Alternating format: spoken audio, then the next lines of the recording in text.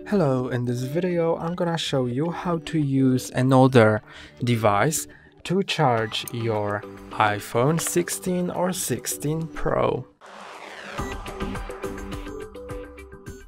You can use another device, uh, an iPhone or an Android phone, as a power source to your iPhone 16 or 16 Pro. And in order to use it, first you'll need to make sure that this device supports uh, the, the, the, device you want to use as the power source supports uh, reverse wireless charging and then make sure that you have a cable that will fit both ends uh, so the uh, power source and your iPhone 16 or 16 Pro. And first I'm gonna show you uh, how to do it on an iPhone.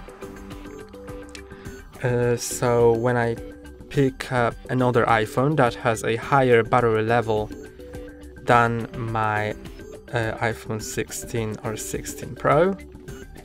Then I can plug in a cable to this iPhone and the same cable goes to this iPhone. And as you can see, it starts charging. And some Android phones support reverse wireless charging, so you can use them to charge your iPhone wirelessly. So here is uh, an Android phone that supports wireless charging and I'm gonna go to the battery then reverse wireless charging and then when I place my iPhone on the back of this device you can see that it starts charging wirelessly.